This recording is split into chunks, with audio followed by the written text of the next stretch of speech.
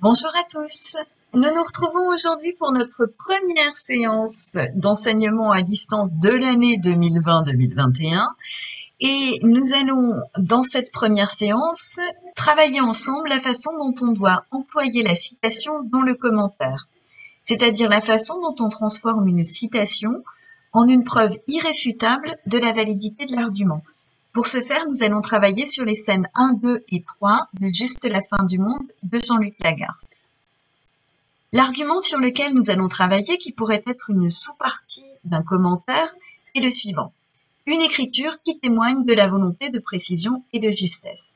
Tout notre travail aujourd'hui va donc être d'arriver à prouver cet argument, à convaincre le lecteur, le correcteur, de ce que l'écriture de Jean-Luc Lagarce est une écriture qui met en scène des personnages qui sont mus par une volonté de précision et de justesse. Pour ce faire, je vais tout d'abord aller chercher dans l'extrait qui m'intéresse, pour nous, les scènes 1, 2 et 3, une citation. Une citation qui, à mon sens, reflète bien cette volonté de précision des personnages.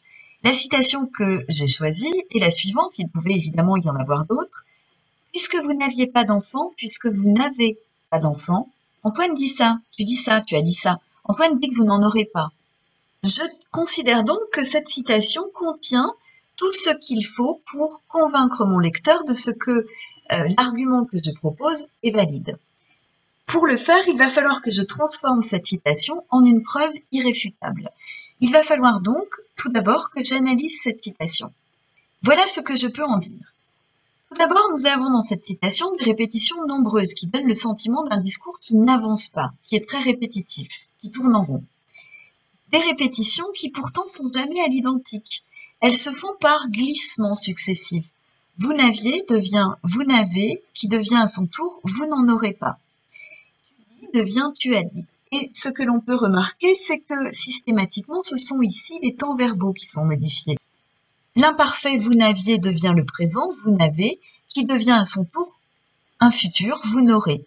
De la même façon, le présent tu dis devient un passé composé tu as dit. Donc ce que j'en déduis, c'est que ces modifications vont témoigner de la volonté de justesse, de précision, et que le personnage qui s'exprime, qui est ici Suzanne, tient à inscrire son propos dans le temps au plus juste, de la façon la plus juste qui soit.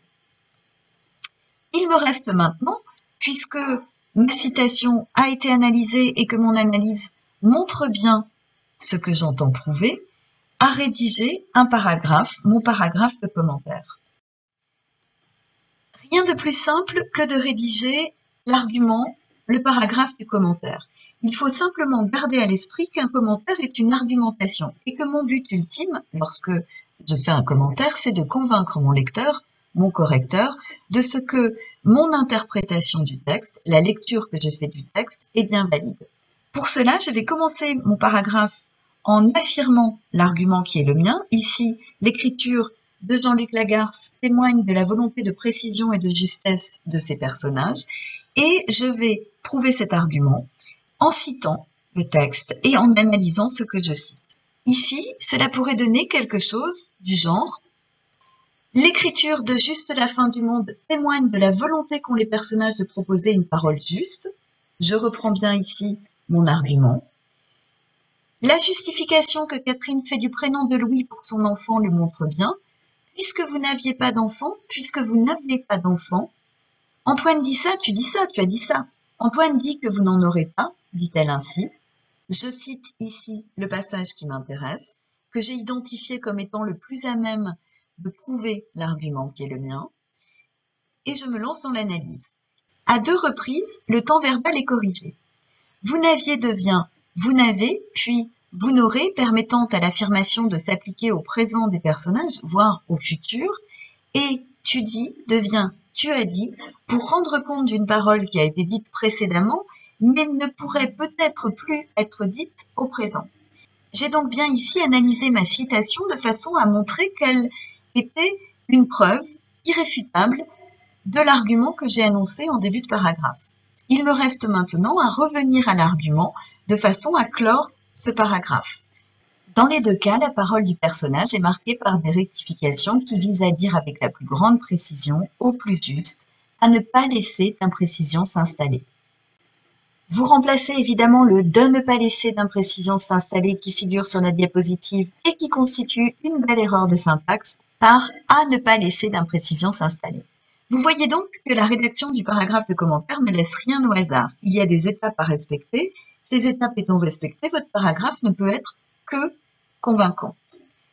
Puisque vous avez maintenant tout en main pour réussir à rédiger de façon efficace un paragraphe de commentaire, c'est à vous de jouer. Je vous propose la chose suivante, vous allez travailler à partir d'un nouvel argument. Vous travaillez toujours sur les scènes 1, 2 et 3 de Juste la fin du monde.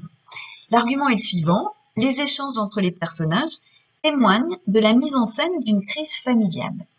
Donc vous avez compris que tout d'abord vous trouvez une citation, vous trouvez une citation qui vous paraît la plus à même de prouver qu'il y a une crise dans cette famille, que les personnages sont en crise. Vous identifiez ensuite, c'est votre deuxième travail, des procédés dans cette euh, citation, procédés qui seront à mettre en lien avec l'argument à étudier et qui vous paraissent être des preuves irréfutables de celui-ci. Ensuite, et c'est la dernière étape de votre travail, vous allez rédiger un paragraphe complet de commentaires prouvant que les échanges entre les personnages témoignent de la mise en scène d'une crise familiale. Pour vous aider du modèle que j'ai développé dans cette vidéo, vous rédigez au brouillon, vous allez ensuite sur le blog et vous déposez votre paragraphe complet sur le blog. Pour le déposer, là encore, c'est extrêmement simple. Vous allez aller sur le blog, vous allez cliquer sur l'article de façon à entrer dans l'article et tout en bas de la page, vous avez un espace votre commentaire. Dans cet espace, vous allez recopier votre travail, votre paragraphe de commentaire. Je vous demande de veiller, quand vous le faites, à présenter de façon efficace vos citations. Pour ceux qui ont un doute sur la façon dont on doit présenter les citations, introduire les citations dans le commentaire, je vous renvoie à la vidéo que j'ai faite à ce sujet et dont l'adresse figure dans la présentation de la vidéo que vous êtes en train de regarder. À vous de jouer donc. Je vous félicite de votre travail, de votre implication dans le cours de français. Ce qui vient de se passer est la preuve que vous savez faire, que vous saurez faire. Je vous dis à très bientôt et je vous souhaite une très bonne journée.